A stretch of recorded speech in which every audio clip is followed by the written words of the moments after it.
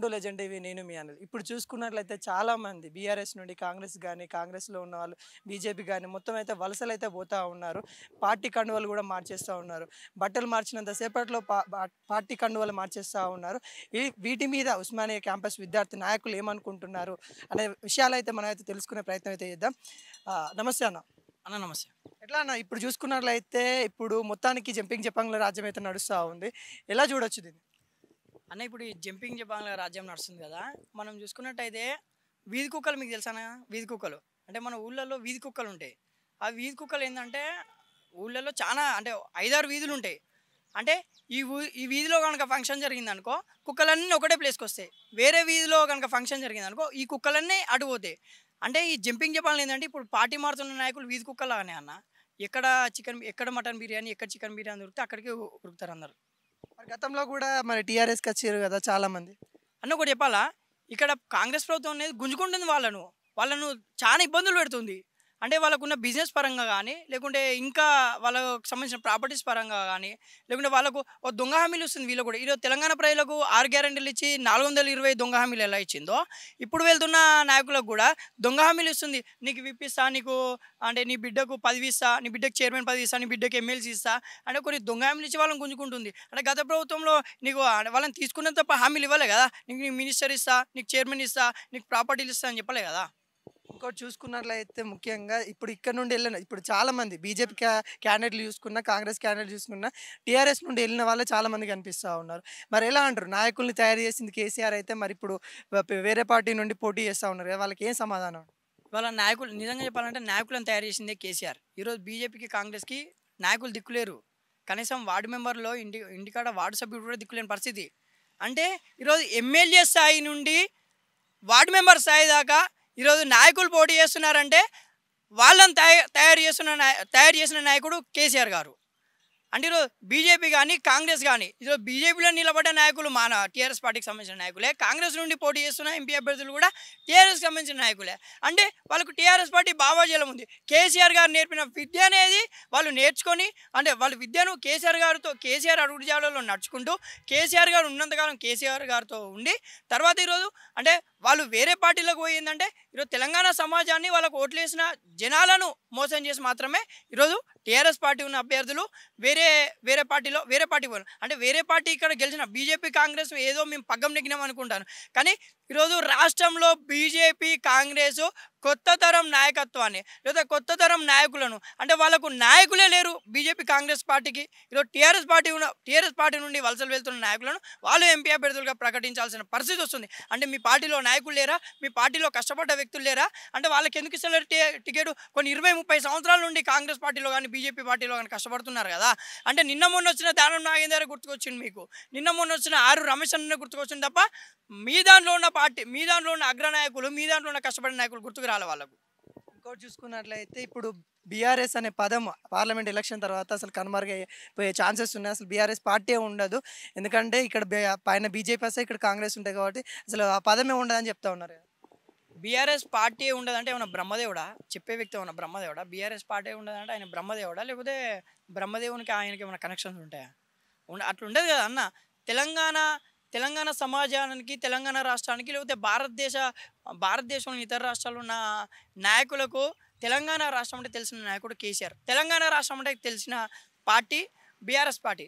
తెలిసిన party TRS party. తెలిసిన నాయకుడు కేసీఆర్ అని అందరికీ తెలుసు. అంటే ఎలా చేంజ్ అయిపోతుంది అన్న? అంటే జనాలు అబ్జర్వ్ చేస్తున్నారు కదా.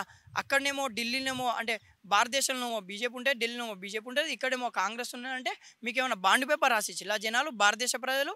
ఈరోజు టీఆర్ఎస్ పార్టీ అనేది తెలంగాణ ప్రజల గుండెల్లో ఉంది. అను అనువున ఈరోజు బీఆర్ఎస్ పార్టీ కేసీఆర్ గారు ఉన్నారు. తెలంగాణ తెలంగాణ ప్రజలు కేసీఆర్ గారు కానీ బీఆర్ఎస్ పార్టీ కానీ గుండెలో పెట్టుకొని చూసుకున్న పది సంవత్సరాలు గుండెలో పెట్టుకొని చూసుకున్నారు. ఇప్పటికి కూడా టీఆర్ఎస్ పార్టీని ప్రజలు మర్చిపోలే.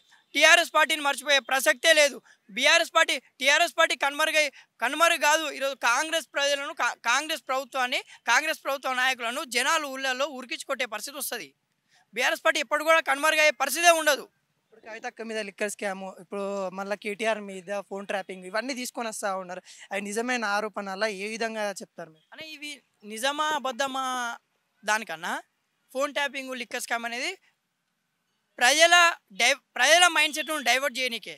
ఈరోజు తెలంగాణ ప్రజలు తెలంగాణ ప్రజలు పొద్దున్న లే పొద్దున్న లేస్తే న్యూస్ పేపర్ చూసే అలవాటు ఉంటుంది. యూట్యూబ్ ఛానల్ చూసే అలవాటు ఉంటుంది తెలంగాణ ప్రజలకు. తెలంగాణ సమాజానికి కానీ తెలంగాణ విద్యార్థి లోక లోకాన్ని కానీ అలాంటి విద్యార్థులను అలాంటి నాయకు అలాంటి ప్రజలను ఈరోజు మభ్యపెట్టి ఈరోజు వాళ్ళను అంటే డిఫరెంట్ అంటే కొన్ని అనివార్య అంటే సంబంధం లేని పార్టీకి సంబంధం లేని ప్రభుత్వానికి సంబంధం లేని ఆరు వందల ఆరు గ్యారంటీలు నాలుగు వందల దొ నాలుగు వందల ఇరవై దొంగ హామీలను నెరవేర్చని క్రమంలో. అంటే ఈ హామీలను నెరవేర్చే చేతగా చేత కావట్లే ఈ హామీలను నెరవేర్చుడు.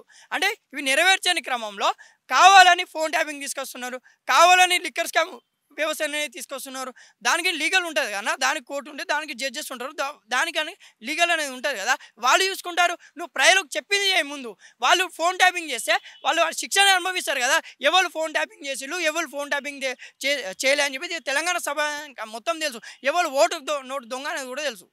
ఇంకోటి మొన్ననే మన రేవంత్ రెడ్డి గారు కూడా అన్నారు ఒక్క సీట్ అయినా గెలిచి చూపించండి అని కేటీఆర్ గారికి సవాల్ ఇచ్చారు అది ఏ విధంగా చూడొచ్చు? ఈరోజు రేవంత్ రెడ్డి గారు నేను చెప్పేది ఏంటంటే కాంగ్రెస్ పార్టీకి ఈరోజు టీఆర్ఎస్ ప్రభుత్వం అనేది పోయింది జస్ట్ వన్ పాయింట్ టూ శాతం ఓట్లతోనే. ఒక్క సీటు గెలిచాడంటే హండ్రెడ్ పర్సెంట్ ఒక్కటి కాదు ఈరోజు పది పది నుండి పన్నెండు సీట్లు గెలిచే పరిస్థితి ఉంది టీఆర్ఎస్ పార్టీది. ఎందుకంటే గ్రౌండ్ లెవెల్లో చాప కింద నీరు లేక నీ ప్రభుత్వం మీద వ్యతిరేకత. ఎందుకంటే నువ్వు ఆరు గ్యారంటీలు నాలుగు వందల ఇరవై దొంగ హామీలు ఇచ్చినావు కదా ఇంతవరకు నువ్వు నువ్వు డిసెంబర్ తొమ్మిదో తారీఖున రుణమాఫీ చేస్తాను. నా ప్రభుత్వం వచ్చుడుతోనే పెద్ద మూతబారి లేక నా ప్రభుత్వం వచ్చుడుతోనే అందరు బ్యాంకులలో పోయి తెచ్చుకోండి రెండు లక్షల రుణమాఫీ నా ప్రభుత్వం వచ్చిన రుణమాఫీ చేస్తాను. ఎక్కడ పోయింది రుణమాఫీ ఈరోజు డిఎస్సి నోటిఫికేషన్ వస్తాను ఏమైంది? ఈరోజు టెట్ ఫ్రీగా పెడతాను. రెండు వందల టెట్ ఫీజును వెయ్యి రూపాయలు చేసాను ఏమైంది? అంటే యూనివర్సిటీలో ప్రక్షాళన చేస్తాను. ఏమైంది? అంటే చాప కింద నీరు లేక నీకు అర్థమైతే లేదు. ఈరోజు మూడు రంగుల జెండా బట్టి పాట మాత్రమే నీకు అర్థమవుతుంది తప్ప ఆ పాటను పెట్టుకొని ఏదో మూతవారిలోకి ఎగిరినా తప్ప నీకు అర్థమైతే లేదు. ఈరోజు చాప కింద నీరు లేక తెలంగాణ రాష్ట్రం మొత్తం తెలంగాణ రాష్ట్రం అన్న అణువణువున తెలంగాణ రాష్ట్రం అంటే నలుమూలల చాప కింద నీరు లెక్క కా- కాంగ్రెస్ ప్రభుత్వం వ్యతిరేకతనే మొదలైంది. ఇంకోటి చూసుకున్నట్లయితే రేవంత్ రెడ్డి గారు అయితే ఇప్పుడు అన్నారు. అంటే ఒక్క బీఆర్ఎస్ కానీ ఇప్పుడు ఉన్న నాయకులు కానీ ఎవరు కానీ ఒక సీట్ గెలిచే ప్రసక్తి లేదు. అదొకటి అయితే. ఇంకోటి ఏంటంటే తను గేట్లు తెరిస్తే అందరు వచ్చేస్తారు అని ఇంకొక మాట అనడము. ఇట్లా అన్ని ఆరోపణలు అయితే చేస్తూ ఉన్నారు. వాళ్ళు ఇంకోటి ఏంటంటే ఇంకొక మాట కూడా అన్నాడు. హండ్రెడ్ డేస్ ఏదైతే హండ్రెడ్ డేస్ పరిపాలించిండో ఆ వంద రోజుల పరిపాలన చూసి కాంగ్రెస్ కోట్లు వేస్తారని చెప్తా ఉన్నారు. మీరేం చెప్తారు ఆ వంద రోజుల మీద? ఈరోజు వంద రోజుల పరిపాలన అంటున్నావు రేవంత్ రెడ్డి. వంద రోజుల పరిపాలనలో ఆరు గ్యారంటీలు నాలుగు వందల ఇరవై హామీలు నెరవేర్చకుంటే నన్ను చెప్పదు కొనుకోట అన్నట్టు చెప్పినావు కదా. నువ్వు పెట్టిన హామీలను నెరవేర్చుకుంటే నన్ను చెప్పదు అని నన్ను ఉరికించుకోవటాన్ని ప్రజలకు చెప్పినావు కదా. ఈరోజు వంద రోజుల పరిపాలనలో నువ్వు ఏం చేసినావు అని చెప్పేసి వంద రోజుల పరిపాలనలో ఎన్ని నోటిఫికేషన్లు వేసినావు? వంద రోజుల పరిపాలనలో రెండు వందల ఉన్నట్టు ఫీజు నువ్వు వెయ్యి రూపాయలు తీసుకొచ్చినావు. వంద రోజుల పరిపాలనలో ఇరవై ఐదు వేల పోస్టులు నువ్వు ప్రభుత్వం బీఆర్ఎస్ ప్రభుత్వం ఉన్నప్పుడు చూపించి ఈ నువ్వు పదకొండు వేల నోటిఫికేషన్స్ మాత్రమే వేసినావు. వంద రోజుల ప్రభుత్వంలో ఈరోజు కరెంటు కోతలు వచ్చినాయి. నీ వంద వంద రోజుల ప్రభుత్వంలో ఈరోజు నీళ్ళు లేని పరిస్థితి ఉన్నది. అంటే నీ వంద రోజుల ప్రభుత్వం చూసి ఎవడు కూడా వేయడు ఈ వంద రోజుల ప్రభుత్వం చూసి ప్రజలు తెలంగాణ రాష్ట్ర విద్యార్థి నిరుద్యోగులు నీకు ఓటేసే ప్రసక్తే ఉండదు. ఈరోజు చిత్తుజుత్తుగా ఓడిపోయే పరిస్థితి ఉంటుంది. ఈరోజు ఇక్కడ పోటీ అనేది బీజేపీ వేసెస్ టీఆర్ఎస్ ఉంటుంది తప్ప కాంగ్రెస్ అనేది థర్డ్ ప్లేస్లో ఉంటుంది ఎప్పటికైనా. ఇంకోటి అన్న ఏంటి గేట్లు ఓపెన్ చేసినాం అందరు రాండి అన్నారు ఆ రోజు మా ఆర్ఎస్ ప్రవీణ్ కుమార్ సారు గట్టిగా సమానం ఇచ్చినాం ఎవరి కోసం గేట్లు ఓపెన్ చేసినాం వీధి కుక్కల కోసం బర్రెల కోసం గొర్రెల కోసం అవినీతి అవినీతి నాయకుల కోసం నువ్వు గోట్లు గేట్లు ఓపెన్ చేసినావు. అది గుర్తుపెట్టుకో. నీ దాంట్లో ఉన్న నాయకులను గుర్తించు ముందు. గేట్లు ఓపెన్ చేస్తే వచ్చిన వీధి కుక్కలను బర్రెలను గొర్రెలను ముందు స్వా- స్వాగతించుడు కాదు. ఒకప్పుడు ఏంటంటే కాంగ్రెస్ నుండి బీఆర్ఎస్ కున్న వస్తున్న నాయకులను ఒక మాట అన్నాడు.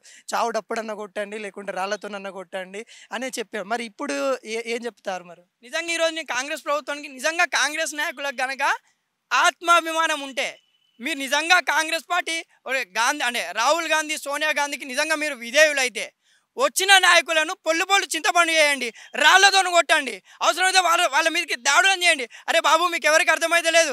రేపటి రోజున ఇదే దానం నాగేందరు అదే పసునూరు దయాకరు అదే ఆరూరు రమేష్ ఇదే పట్నం మహేందర్ రెడ్డి అదే రంజిత్ రెడ్డి మీకు మీకున్న ఆధిపత్యాన్ని వాళ్ళ చేతిలో చెప్పు చేతిలోకి తెచ్చుకున్న తెచ్చుకుంటారు. వచ్చే వాళ్ళందరూ పడే నాయకులు వేల కోట్లు వందల కోట్లు ఉండే నాయకులు. ఆ నాయకులు ఏం చేస్తారు? మీది ఏం నడవదు. ఎందుకంటే మీరు చూసినారు కదా వాళ్ళు ఎలా వచ్చారు? ఎన్ని వందల కోట్లు ఇచ్చి వచ్చారో. అంటే మీ నాయకత్వాన్ని కొన్ని సంవత్సరాల నుండి కాంగ్రెస్ నాయకులు కష్టపడుతున్నారు కాంగ్రెస్ ప్రభుత్వం రావాలని.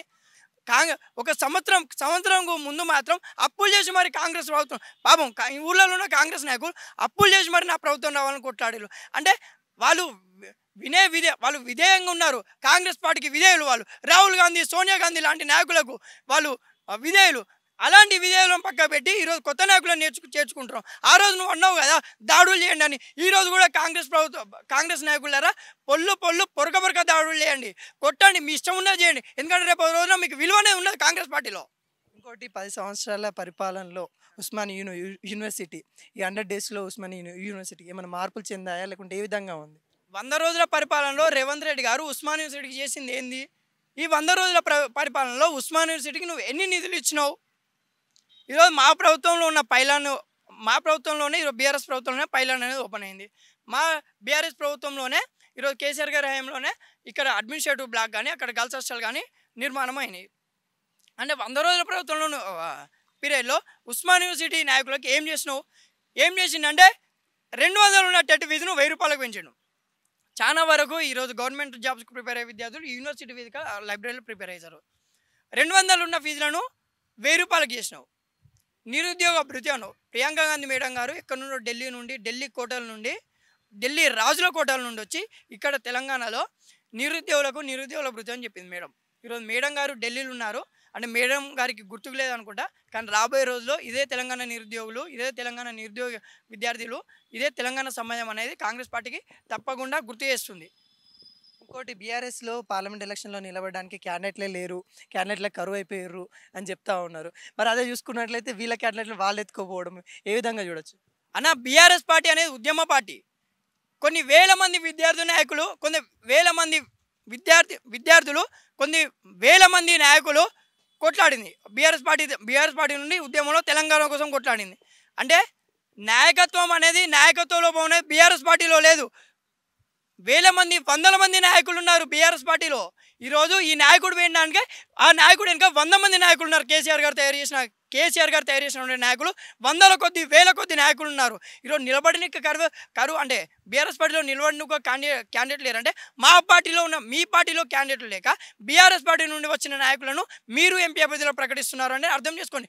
మా పార్టీలో ఇవాళ కేసీఆర్ గారు ఒక పిలుపునిస్తే కొన్ని వేల మంది నాయకులు ముందుకు వస్తారు ఇంకోటి యూటర్న్ తీసుకొని మళ్ళీ టీఆర్ఎస్కి వచ్చే వాళ్ళు కొంతమంది ఉన్నారు. అంటే తాటికొండ రాజయ్య కానీ మళ్ళీ యూటర్న్ తీసుకొని మళ్ళీ వస్తున్నారు వాళ్ళ మీద మీరేమంటారు? అంటే అన్న వాళ్ళు పోయి నెల రెండు నెలలు అవుతుందన్న ఈ గడిచిన నెల రెండు నెలల క్ర- క్రమంలో అంటే వాళ్ళందరూ ఉద్యమ నాయకులు ఉద్యమ పార్టీ నాయకులు వాళ్ళు వెళ్ళింది. తాటికొండ రాజయ్య అనే వ్యక్తి ఒక ఉద్యమకారుడు. అంటే ఆయనకు ఆయనకు పార్టీలో ఆయన స్థాయి ఏంది? అలా అతనికి ఎలాంటి విలువలు? అంటే ఇళ్ళ నుండి పోయిన నాయకులకు ఎలాంటి విలువలు ఇస్తున్నారని తెలుసు కదా అన్న. అంటే తెలంగాణ సమయానికి ఇచ్చినటువంటి హామీలు నెరవేర్చిన క్రమంలో వీళ్ళు కూడా ఈ తాటికొండ రాజయ్య లాంటి నాయకులు కూడా ఊళ్ళలో పోయి కాంగ్రెస్ పార్టీ అంటే ఈ రాజయ్యను కూడా కొట్టే పరిస్థితి ఉంటుంది. అంటే ఇలాంటి నాయకులను కూడా కొట్టే పరిస్థితి ఉంటుంది. హండ్రెడ్ పర్సెంట్ వాళ్ళు యూటర్న్ తీసుకొని వచ్చే ఛాన్స్ కూడా ఉంటుంది. ఈరోజు గంత పెద్ద మేధావి ఒక ఐఏ ఒక ఆఫీసర్ అంటే ఒక స్వేరేస్కో ఒక అధినేత ఈరోజు కొంత పేద విద్యార్థులకు పేద విద్యార్థులకు చేతు చేయుతనిచ్చిన నాయకుడు ఈరోజు ఆర్ఎస్ ప్రవీణ్ కుమార్ సార్ లాంటి వ్యక్తి ఈరోజు మా పార్టీకి వచ్చిండు. అంటే కేసీఆర్ గారి అంటే కేసీఆర్ గారి సిద్ధాంతాలకు కేసీ కేసీఆర్ గారి సిద్ధాంతాలు నచ్చి ఈరోజు కేసీఆర్ గారి దగ్గరకు వచ్చిండు. కేసీఆర్ గారి దగ్గరలో దగ్గరకు వచ్చి ఈరోజు పార్టీలో చేరిండు. ఈరోజు ఎంపీ తీసుకున్నారంటే పంచర్ అయిన కార్లోకి ఎక్కుతున్నారు ఆర్ఎస్పీ ప్రవీణ్ సార్ అని అంటున్నారు అన్న ఒకటి చెప్పాలా? నాయకుడు అంటే ఎటు సైడ్ నిలబడతాడన్న ఆపదలు ఉన్నోనికి నాయకుడు ఆదుకుంటాడు. ఆపదలు ఉన్న ఆపదలు ఉన్న విద్యార్థులకు కానీ ఆపదలు ఉన్న ప్రజలకు కానీ ఈరోజు నాయకుడు ఆదుకుంటాడు. అంటే ఆర్ఎస్ ప్రవీణ్ కుమార్ అన్న వ్యక్తి ఒక నాయకుడు అన్న ఈరోజు డి- పంచరైన పార్టీ అంటే అంటే పార్టీ పంచరైన పార్టీ అంటే పంచర్ ఎక్కడైంది? నువ్వు వచ్చి చూసినావు ఏమైనా పార్టీ అనేది పంచర్ కాలేదు. ఆర్ఎస్పీ అనే ఒక అలాంటి ఒక గొప్ప వ్యక్తి వచ్చిందంటేనే అర్థం చేసుకోండి. ఈరోజు మరో ఎన్నో ఎందరో మేధావులు ఈరోజు ఎందరో ఆఫీసర్స్ ఈరోజు టీఆర్ఎస్ పార్టీలో చేరడానికి రెడీగా ఉన్నారు. మొత్తానికి పార్లమెంట్ ఎలక్షన్లో ఒక విధి ఉస్మానియా విద్యార్థుల తరపున ఏ విధంగా ఉండబోతా ఉంది. అసలు తెలంగాణలో బీఆర్ఎస్ ఎలా ఉండబోతోంది? కేసీఆర్ వ్యూహం ఏముంటుంది? ఈరోజు పార్లమెంట్ ఎలక్షన్ సందర్భంగా ఉస్మాన్ యూనివర్సిటీ యూనివర్సిటీ నుండి నీ ఈరోజు తెలంగాణ సమాచారం కానీ ఈరోజు యావత్ విద్యార్థి లోకానికి కానీ జిల్లాల వారికి కానీ నేను ఒకటే చెప్తున్నా.